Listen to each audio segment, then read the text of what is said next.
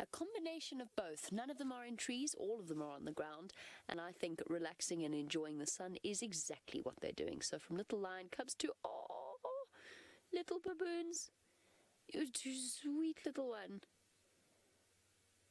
Oh, look at it pottering about. Absolutely adorable. One of the baboons presenting itself to be groomed. Yeah, I wouldn't be so keen either, to be completely honest. And of course, the now I've got to get this right. I always get it. I always want to call them ischial callocytes, but it's not. They're ischial callosities. I think that's how you pronounce it, callosities. The protruding, sort of brightly coloured flesh around the baboon's buttocks, which is, of course, a sign of sexual maturity. And when the females come into estrus, it becomes particularly bright and very, very apparent. Oh, baby's been taken away. Let's go see if we can get a bit closer.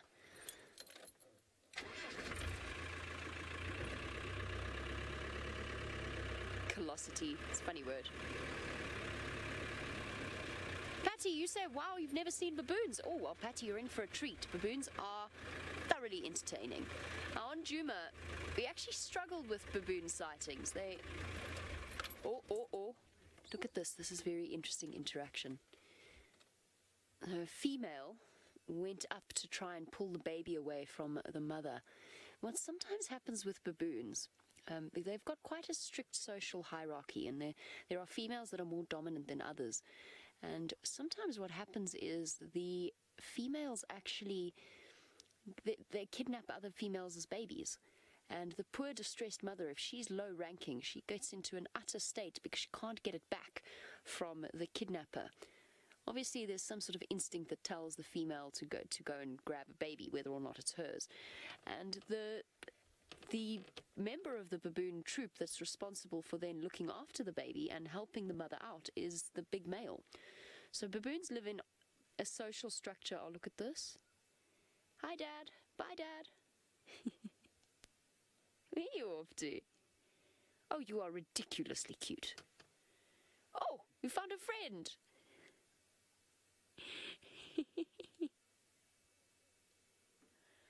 oh, but you are so cute.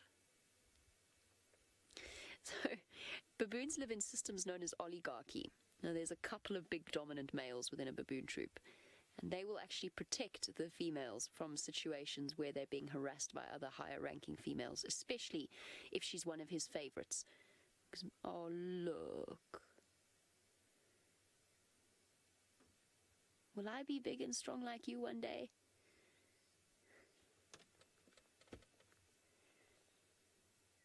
Can I enjoy some of what you're eating?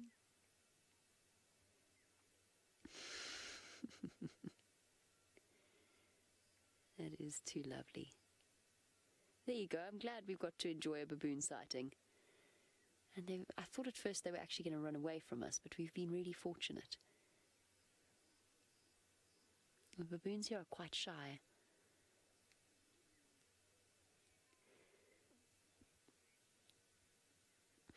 Woman, woman, um, speaking of the kidnapping uh, of, of infant baboons, no, baboons don't really steal human babies. Um, you get situations where um, there, I don't think it's a it's a, a, maternal instinct at all. There's a possibility that a baboon might attack a human baby because they're actually they're they're they're omnivores. And male baboons have massive canines, and they do. There are a few unusual cases of baboons attacking small babies, particularly where they've been in a place where they've been fed and where they've learned to break into houses. Scrapping. Little internal dispute. Remedied relatively quickly.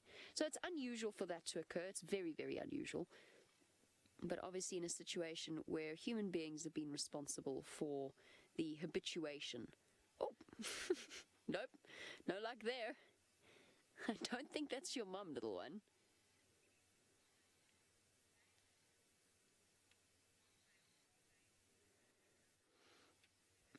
David, no, that's the lovely thing about baboons. The males, you, you obviously will get an occasional situation where a baby is killed by a male, but male baboons don't really take over a troop. They once they leave, so once they disperse from their natal troop, they'll move around and they'll they'll shyly hang out around the edges of a baboon troop, hoping to get accepted by the rest of the society. And slowly but surely, they'll they'll basically make friends with the females and with a bit of scrapping in between with the dominant males, eventually they'll become to be they'll come to be accepted by the group. But because it's not one dominant male that mates with all the females, um, it it doesn't do them any good to kill baby baboons.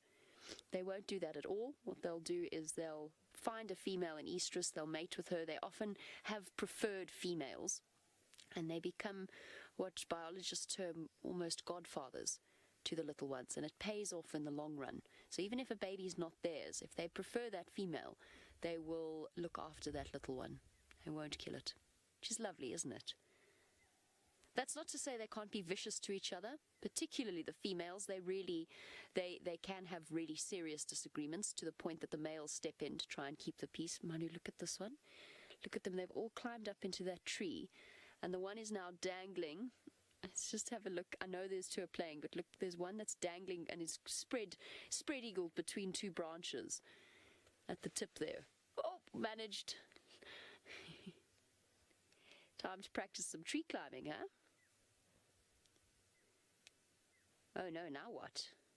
Oh dear. Can't reach. I'm trying to help the other guy up. Don't pull each other out of the trees.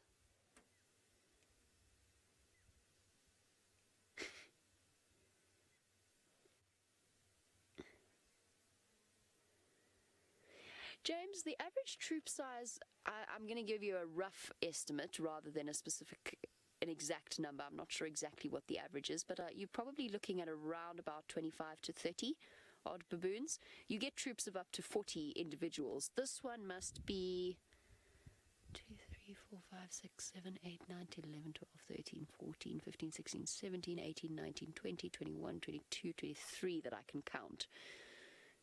Just a rough count. So you're looking at, yeah, an average of between 25 and 30. I'm not sure of the exact, exact number. I'm sure that somebody has researched and come up with an average. Oh, hello, Impala. They've just come racing out of the bushes. What's up? What happened? Little ones. I think little ones having a game. If there were any leopards in the area, the baboons most definitely would have found them. I think they just got startled. Baboons and leopards, of course, enemies. There you go. That, that, that brings us to Patty's question. Yes, leopards will hunt baboons. They will climb up into the trees when they sleep at night, and they will grab baboons. But baboons are not defenseless and the big male baboons will fiercely protect their troop. They've got canines bigger than a leopard, and especially a female leopard will find herself in quite serious trouble if she tangles with a baboon troop because she's just she's not quite big enough to challenge them. And generally speaking, it is only really the leopard that is a proper enemy of baboons. Babies get swiped by eagles every now and again, and I suppose occasionally fall victim to snakes as well but for the most part, those are their main enemies birds and leopards. And we, of course, had that extraordinary sighting with Thandi back on Djuma, where she, the baboons went after her cubs. And she went and she saved her cubs. She rescued them. She distracted the baboons enough that they lost track of where the cubs were. But she ended up chased up a jackalberry tree, and she had to stay there for about an hour before the baboons moved off. So whenever they see them, they bark. Oh, imagine the upper arm strength you have to have to be able to do that, swing your body weight around like that. We are so puny when it comes to the animals out here, when we compare them. When you compare them to, when we compare our physical strength to the animal's physical strength. Manu, I thought we were agile this morning when we put the wrapped the roof covers up. We got nothing on these guys.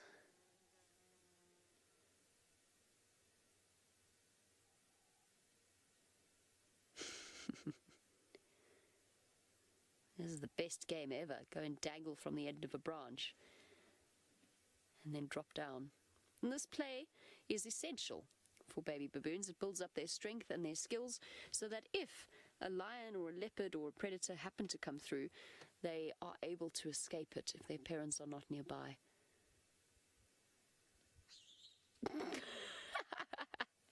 Sorry. I shouldn't laugh, but the, the one just severely overestimated um, the, the leap and went tumbling out of the tree. They fall out of trees all the time when they're young like this. They don't. They generally don't hurt themselves.